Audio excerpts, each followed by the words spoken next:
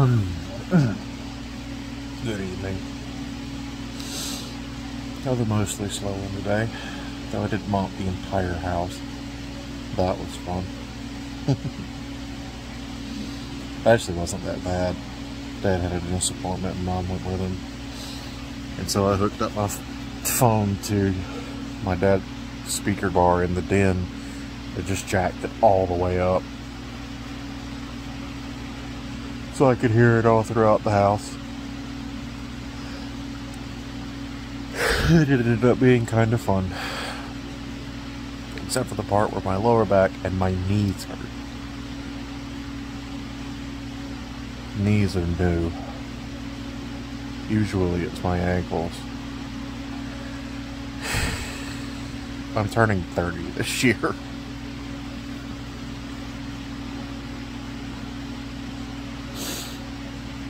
RimWorld continues to be fun. Um, to keep it interesting, I was looking up. See, I did a tribal start, and part of that is everything you research is much slower. You start with like no research, except for the few ones that were given to me thanks to ideology. And overall, like pretty much all research is nearly doubled, and sometimes more than doubled, depending on how far down the line it is. And so I popped into dev mode, and I was just gonna like take off a few big ones because I didn't mind having to still research. Like at this point, I want to point out that at this point my colony was entirely stable. Um, like this wasn't a way to save it. It was stable overall, very you know, very positive mood wise. This was to keep this colony interesting.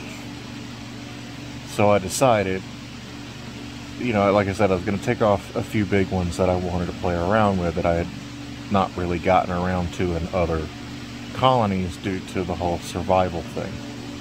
Um, well, come to find out, you can't do individual technology research technology. You can't do individual researches. You just unlock all research. And at first, I was on the fence about it, and then I said, you know what? Screw it. This is probably going to be the only time I'll play around with some of the things included in these mods. A big one being the factories. I've always wanted to mess around with them, you know, like a lot, but the most I've done is the auto sower and harvesters, which aren't really which are pretty much just like place set and that's it. But there's a lot of other like conveyor, well not necessarily conveyor, but um, there are chains for other such, you know, like uh, one easy example is an auto driller that drills for stone chunks, which dump, which you can have dump immediately into a masonry saw. Um, which turns those chunks into blocks. Then there are uh, other, uh, you know, more complicated chains from like, you know, like basic component to advanced component to uh, a product or like, you know, you have, you can do fabrication, you can do like the breakdown of fabrics into an auto loom, which you um, a machine that breaks down fabrics into you know it breaks down apparel into usable fabric, and then another one that like makes stuff out of that fabric, or a three-piece chain for making uh, better medicine.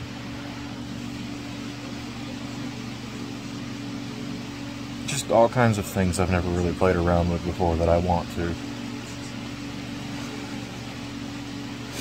And then, cap the night off, I had a large infestation. So, to kind of paint the picture, my my base is built into the mountains, but I haven't fully, you know, explored them. But there is a big chunk. I strip mined early on looking for components. Um, I'd done fairly well keeping this area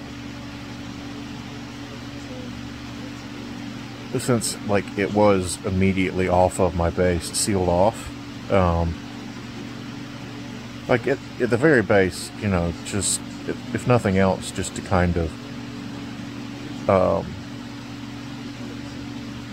just so I could keep my like I've got one big room that connects a lot of places and I've been slowly trying to section it off so that like if I assign someone to clean that room they're not cleaning the whole damn base but it turned out to be a good thing because again this is where this large infestation was. And so I get all of my troops behind the double doors you know waiting for everything to pop in and then I'm going to assess the damage and just go from there. And it's a lot. It's a lot lot. We're talking like at least three maybe four massive hives and five or six smaller ones. Um, just a lot of bugs. A lot of giant angry bugs. So I inch my people in, and the first thing I notice that is odd is out of like the, the, the 20 bugs that I know have my colonists in their line of sight, absolutely zero of them are attacking. I'm like, okay. That's odd. So I order a colonist to take a shot at one of the big ones. And this is where the first, the you know, the second kind of red flag goes off that something's odd. You know, instead of it just attacking back like I expected it to, I got the pop up for revenge, which tells me yet again these bugs are not they're not like they're not hostile. I'm like, okay. And in fact, as this as the short fight against this one bug was ensuing, the rest of them fled into the tunnels that were where I'd been fled from the big room that I started in, which is where I'm building my factory, into the tunnels that I hadn't um, sealed off yet, where I done where I had done my strip mining earlier. And so at this point, I just, I'm like, all right, I'm going to destroy the hive. Search, because even at, at this point, it hasn't sunk into me that they're just a neutral faction for somehow. Um, so I start cleaning out the hives, and again, no aggression from the insects. I'm like, all right, fine. I've scared them all off into the tunnels. I'm just going to seal them in there and see what happens. And that's what I did. And then it also dawned on me I can tame them, and they have. I mean, it's a ten percent chance, but that's real. That's fairly low for like I think. You know, there are a lot of other um, dangerous but very useful animals that you can tame. Like I think think Timberwolves are like a 30% chance for revenge on a tame on a failed tame attempt. A goose is 85% chance to attack you when if you fail to tame them. Because geese are just angry motherfuckers like that. but yeah, so now I have a bunch of bugs sealed in my old strip mine. Um, and I have them all set to tame. And so I'm either going to walk away with, you know, like one of two things are going to happen to these bugs. Either I will tame them, or they will starve. And occasionally, maybe one will get mad at the tame attempt, and hopefully I'll be able to take care of that. Because again, unless it's one of the rare revenges that does get multiple ones to respond, but like even then it'll be the individual species, not all of the bugs.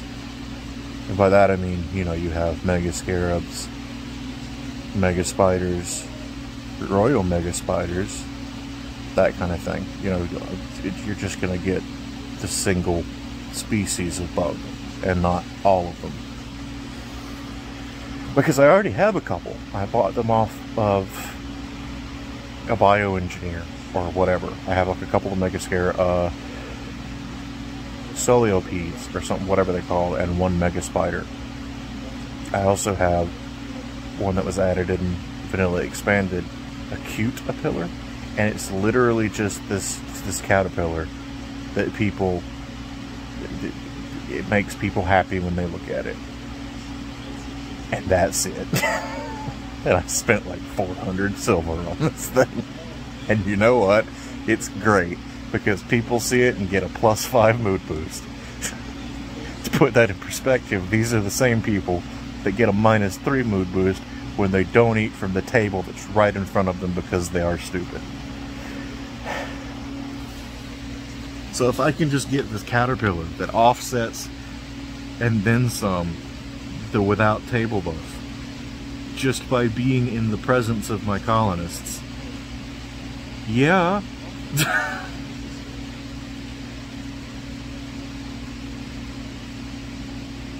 Anyhow, I'm going to sleep now. Good night. Catch you all tomorrow.